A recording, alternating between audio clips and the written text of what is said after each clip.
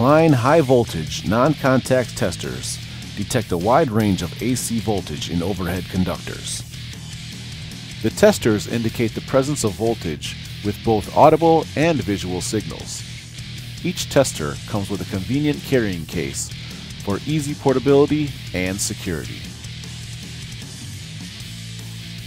The dual range non contact voltage tester can be used in the low range for detecting 50 volts to 1500 volts. The high range detects 1500 volts to 132,000 volts.